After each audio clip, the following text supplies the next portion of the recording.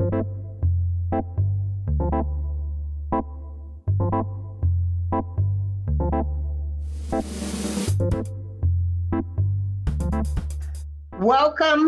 to today's program and thank you for joining us.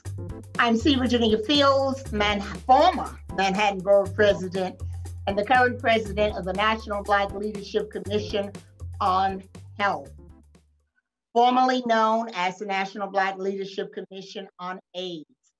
But even under this new name, we are furthering its mission of advocacy and empowerment to include expanded areas of disparities in Black health. That includes HIV AIDS, hepatitis C, cardiovascular disease, breast cancer, prostate cancer, sickle cell, diabetes, and mental health.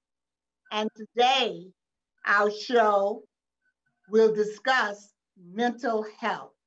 During these challenging times of the COVID 19 pandemic, not only are we seeing more people struggling and trying to deal with mental health, just as we are all dealing with emotional, financial, physical, spiritual, and other things that have upended things that we do. So today to discuss this, I'm very pleased to have Patrice N. Douglas. Patrice is a licensed therapist, certified anger management specialist, and certified parent-child interaction therapist. She's located, the company is located in California and Texas. She is currently a doctoral student, candidate rather, at the Chicago School of Professional Psychology in Los Angeles. She's also an entrepreneur as the owner of Empire Counseling and Consultation, located again in California, Texas, and here in New York, where she specializes in anger management, men's issues, minority mental health, as well as parenting. Let me say welcome, Patrice, to our show today. And again, given uh, the unprecedented situation we are facing globally with respect to COVID 19, I'm certain that uh, your work has been increased um, over and over again beyond perhaps what you were doing. So we're so glad that you're here let me just make a few comments about mental health because actually May is Mental Health Awareness Month. And therefore, we wanted to focus on that as well as, as I said, related to what we're now experiencing in these challenging times. The Black community is 20% more likely to experience serious mental health problems than the general population common mental health disorders among the Black community includes depression, attention deficit hyperactivity disorder, ADHD, suicide, especially among young Black men, and post traumatic stress disorder, PTSD, as we mostly refer to that. However, only about one in three Blacks who need mental health care will get it. This is because of insurance barriers, stigma, lack of awareness, education, and distrust of the medical community. But now, more than ever, we need to put significant resources to help us address issues of mental health. So Patrice, to get us started, why don't you just take a few minutes to tell us a little about how you got started in this work in the first place? Uh, well, from a young child, I always knew that I wanted to be a therapist or be um, in some type of profession that was helping people. I always thought that I was going to be um, an FBI um, criminal profiler.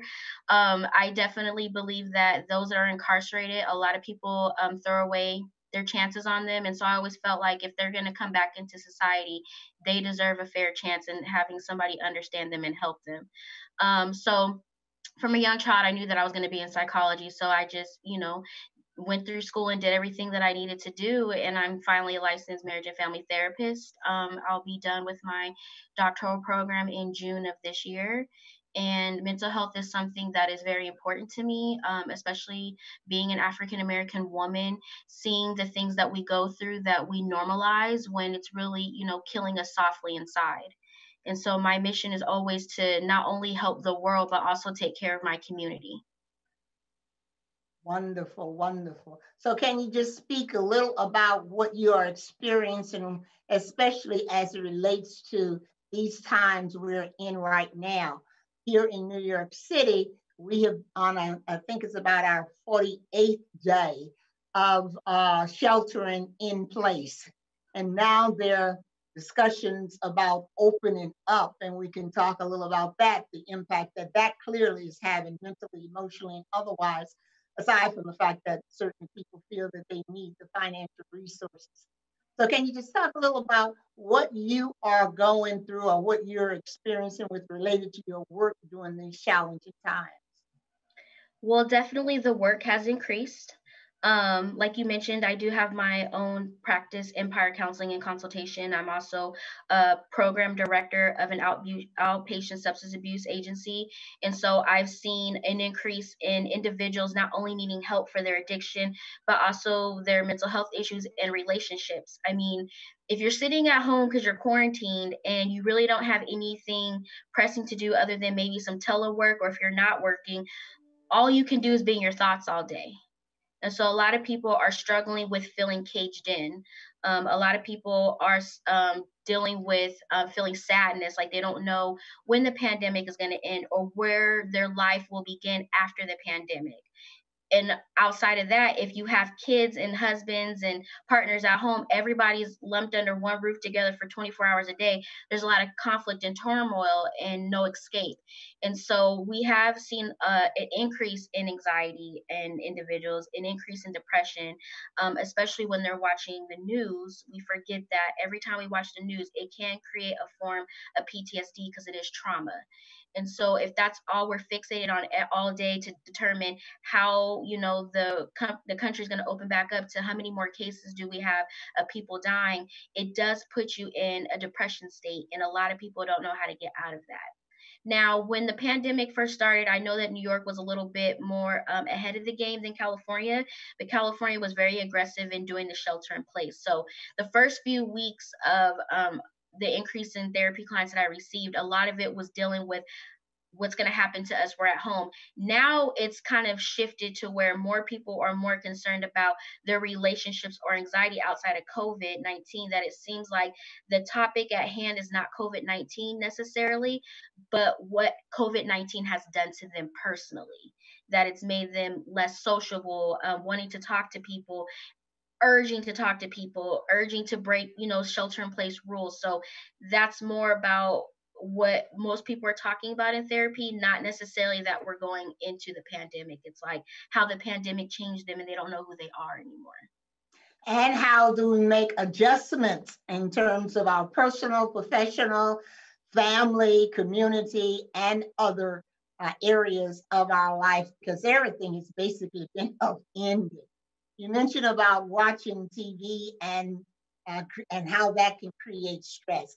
I'm definitely on a uh, program where I buy. I probably maybe tune in twice a day. I like to hear my governor, Governor Cuomo, give his live uh, report. Sometimes I may hear the mayor, but mostly I'm definitely on the governor's report because it's more expansive and in the evening for the evening news. After that, whatever I, you know, hear in passing or see flash, if it's something I want to read, but nine times out of 10, it's not. So I definitely have trained myself not to be on that TV watching that for these many hours because it can really stress you out. Just yesterday, when our governor, had part of his report, he talked about the fact that I don't know if he said the majority, or but certainly a significant number of people who have come, you know, um, have the disease are at home. They're not traveling to work. They're not riding the subways. They're not using public transportation. So, with all of us who have been sheltering in place now for over 40 days, that really raised an eyebrow. So, that could produce stress. So, I had to go to what I have to do bring it down, go to my space, meditate, pray, by faith, knowing God's got it no matter what I hear. But I can understand how uh, that becomes so stressful in so many ways. So, can you uh, define for us the difference uh, between anxiety and depression, and how do people know when they need therapy? So, my rule of thumb for needing therapy is that everybody can benefit from therapy. I don't care if you're a therapist yourself, psychologist, medical professional, pastor, whoever. There's nothing wrong with having a conversation with someone that is not in your immediate circle. A lot of times we like to use our friends and family as therapists, but we have to forget that they have a personal stake in our lives. And even though they may give solid solid advice they have a bias they want to see us do well. They want us to maybe see us do what they want us to do. So i always say if you feel like life is overwhelming to the point where you're not able to function as far as you're not sleeping well, you're not eating well, um, your thoughts are all over the place, um, you don't feel happy, it's time to start talking to someone about getting coping skills. Now, when it comes to anxiety and depression, they definitely can go hand in hand. Um, depression can lead um, somebody having anxiety, and anxiety can lead to somebody having depression when we talk about the two, anxiety is more about the fear of unknown. So you don't really know what's going on, or you're um, you're fearful about something. Therefore, your heart may start racing. You may have racing thoughts. Um, your heart rate may go up. You may can't sleep at night because all you're doing is worrying about something that you may not have control over it.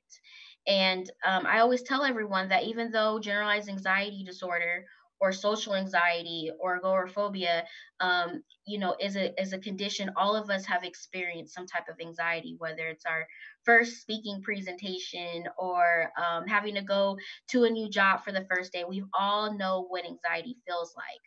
Um, and some people do need medications to calm those those chemical imbalances down when they're feeling very overwhelmed. Then we have depression, where it seems like there's a sense of hopelessness. You're feeling very down. You have lack of motivation to do anything. You find yourself sleeping more often, or you may not be sleeping at all. Um, it's pretty much taking the joys out of the simple things that you would like to do in life, and you don't see yourself getting out of that dark cloud. And so because they're they're both so heavy, they can actually come together and you can have a diagnosis that has both anxiety and depression. But the great news about it is, is that it's manageable. Um, it can be um, treated very well, and it doesn't necessarily mean you have to be on medications, but that is an option. But there are many of us that are walking around with anxiety and depression and living our best lives. Well, how do we dispel the myth, especially among communities of color, about uh, being, you know, the stigma that we often hear about, and I'm sure you see? associated with uh, getting therapy or feeling like, uh, well, if anybody knows I have a therapist, they may think that I'm mentally sick or stigmatize people. How do we dispel that myth, especially based on your description of uh, the difference between anxiety, depression, and some of the signs just based on how we feel every day? I think that it's overcoming that there's an issue in the room. I think, um, especially in the Black community, we've been conditioned um, to just take life on as we can and to suck it up, be strong, and just get through it because nobody cares about the sorrow and the sad stories. But in reality, is is a lot of the things that we do to thrive in this world and become strong is eating away at our mental health. And so, I think if we take the the the stigma out of that the only way that you could talk to a therapist is if you have a mental disorder or you're crazy. That's completely wrong. I mean therapists can do a scope of things. We could talk about life transitions from you maybe going from one job to a next. Maybe you're having a career dilemma. You don't even know where you want to go. There's therapists that can help with that. You're having problems with communication with your friends or your loved ones. We work on communication. It's not always tackling psychotic issues. It's tackling the things in life that make you uneasy and so I think if if the black community understood about the range of things that they can get in a therapy session, just someone to talk to, then I think they would be more comfortable with that. Because if we look at the black community when it comes to life coaches versus therapists, they're more inclined to go to a life coach because it sounds like you're doing personal development. But when you go to a therapist, it sounds like something's wrong with you you can go to therapy and get personal development as well. So I think it's changing the narrative on what therapy really can look like. Also, too, um, I don't believe that we know what trauma is. So if we we're going through life, we see it on TV. You know, there's a lot of things going on in the news right now, especially when it pertains to Black men. When we look at those things, those are very devastating. But we're not realizing that putting ourselves through the same trauma over and over, the things that we we dealt with growing up, the things that our parents saw, the things that we saw that our parents saw, they don't see that as trauma. They don't see that as something that they need to heal from.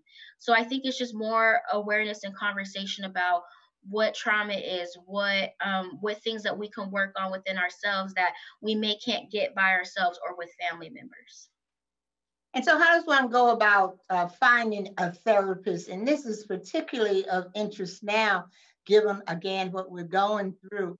When we look at um, health disparities that disproportionately impact uh, communities of color, and for those of us who know this, it is no surprise that this, these are the populations that are most vulnerable. If anyone to say that they are so surprised, I kind of look askew at them because, again, these disproportion, this disproportionate uh, impact has been for far too long. So, given the fact that a lot of that is related to lack of access to medical care, as far and also probably uh, therapists. How does one go about finding a therapist, and what makes that person be able to start feeling comfortable talking with that person? Definitely, there are way more resources out there for um, finding therapists. Um, there are a few websites that you can go to. You can always check out Psychology Today. That's the biggest search engine for therapists. Um, if you're looking for a therapist of color, you have Therapy for Black Girls, you have Melanin and Mental Health, therapy for black men and so you can go to these sites and actually pick and choose your therapist based off of how you how you feel about them by reading their bio um, another way is if you have insurance and your insurance it covers behavioral health, they do have their own um, network directory of people that specifically um, take that insurance. Um, there are other platforms like Talkspace, BetterHelp, um, open path where you can get a sliding scale and what we say by sliding scale reduce rate in therapy sessions if you can't afford based off if you don't have insurance or you can't pay full fees. But i will say that the black community as far as the behavioral professionals we have st- we have stood up and we have provided pro bono uh, free um, therapy sessions to not only the frontline workers but also to our community because we know that times are hard but I will say, if you do have insurance, this may be the time to get into therapy because a lot of them are waiving copays. So you may not have to come out of pocket for your, your sessions. They're covering that for you. So if you are interested in getting to therapy, of course your first your first go-to can always be the internet, but also check your insurance providers if you do have insurance. But again, that's one of the things that I continue to see that's missing, whether it's related to resources around finding a therapist or just access to other um, needs that people are experiencing during this time. How, everybody says go to the internet, go to the website. But we know we're dealing a lot in our communities where these resources are just simply not available people do not have access, and that has been highlighted during this uh, pandemic. So, what other ways can we possibly reach our communities when everybody is still sheltering in place and we don't see the outreach in the streets as we normally would see? Yes, you bring up a very valid point, and I think that's where the struggle is right now because we can't really be on foot. Um, so we're we're relying a lot on technology right now. So whether it's the internet and social media, that's how we're getting the word around. But in all honesty, a lot of times we can ask in our own in our own circles. I know that we don't want anybody to know that we're going to therapy, but you'd be surprised how many people in your actual circles that know of a therapist or can recommend a therapist. And so we do have to kind of band together and kind of spread the news about different resources because we are very limited.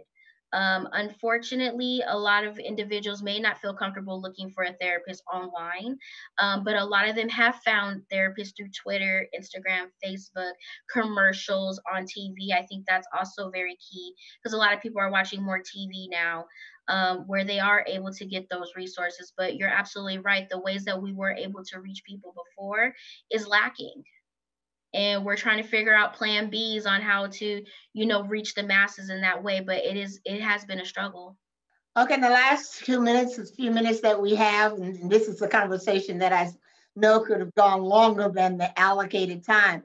But I'd like you to touch upon two other areas. And one is any recommendations for parents with children and teenagers who won't have summer activities?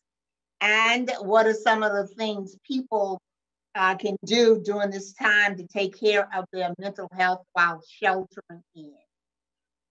So for the kids and the teens, I think it's very important to still keep them on a schedule.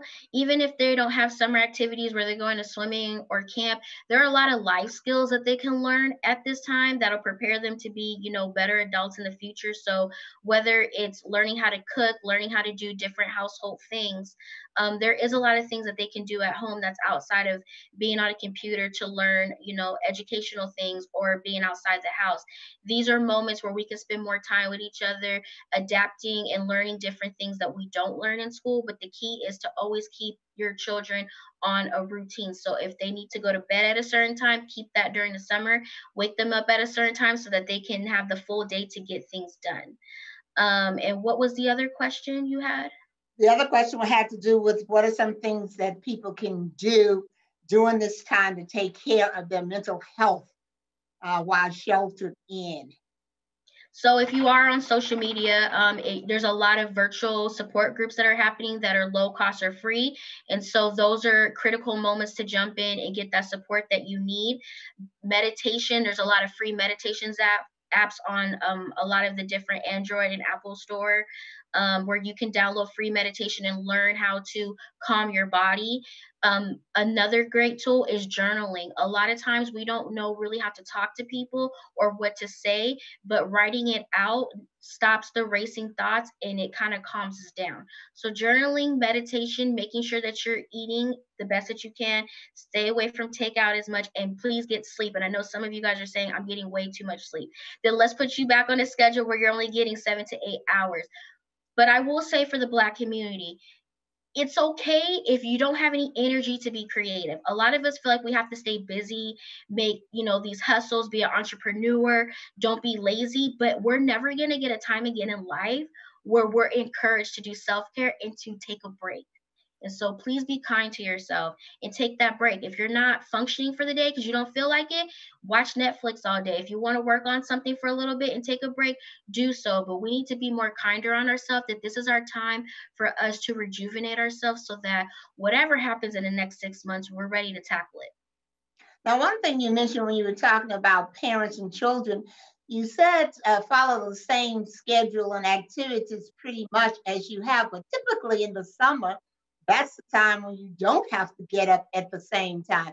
You don't have to do the homework. So, why is it important to follow that routine during the summer months when activities like swimming and all of that is no longer in place? Can't the kids um, rest a little longer or stay up a little later and change the routine? I mean, yeah, I mean, I'm not saying they have to get up like at 6 a.m. Monday through Friday or nothing like that. Like, I wouldn't do that. Um, but what I'm saying is that since there's not any planned activities, what we don't want to do is become couch potatoes in a sense. So, right. if you have if you have a schedule where you're waking up at a certain time, you're able to thrive and accomplish something between those hours that you're awake and the time that you calm it down. Um, and the only reason why I say that too is because this may be our new normal. I mean, majority of the states, the schools are shut down for the rest of the school year, which I know is only a few weeks. But we don't know what September or August is going to look like. This may it may look like summer 3.0 at this point. And so, even though we are in a situation where school and activities are not happening, that doesn't mean that we still shouldn't have a routine of when we wake up, when we do things, when we take breaks, and when we go to sleep. These are basic needs that we need as adults is that routine. Everybody needs a routine. The more we get off a routine, the harder it is to get back on that routine. So instead of them waking up at six, maybe they need to wake up at eight so that they can get the crusties out of their eyes and get up at nine. But there still should be a set time that they need to be up and functioning at a certain time. And I think that's so important because it's been emphasized uh, more and more that people should get up and get dressed. Do not yes. sit around in your night clothes, your pajamas, and your robe all day. It could be very comforting, but that does not uh, help you in terms of your thought process, your mental state, emotionally, nor spiritually. So I thank you so much for that. And our closing member, just share with everyone how they can contact you and any last comments that you might want to make about what some things we might not have covered. Yes, so before I close out, I do want to acknowledge you're right. You should get dressed, take a shower. If anything, wash your face. That always makes you feel better and rejuvenated, and brush your teeth. Um, I think that's very imperative too. Um, especially wearing the mask, we need we need to just make sure we're taking care of our face. I don't know if women or men have been experiencing more breakouts with wearing masks and things like that, but keeping our faces are clean is very priority. Um, if you want to reach out to me, um, I do have a couple of websites. If you want to check out my personal website, you can uh, find me at patriceNdouglas.com. If you want to check out my my therapy practice, which has now been expanded to Florida, and uh, due to the pandemic, I am able to take um, virtual um, clients in New Jersey. You can find me at empirecounseling.net. I am on all social media platforms. My two favorites are Instagram and Twitter. So you can find me on Instagram at the Patrice Nicole and on Twitter, Patrice N. Douglas.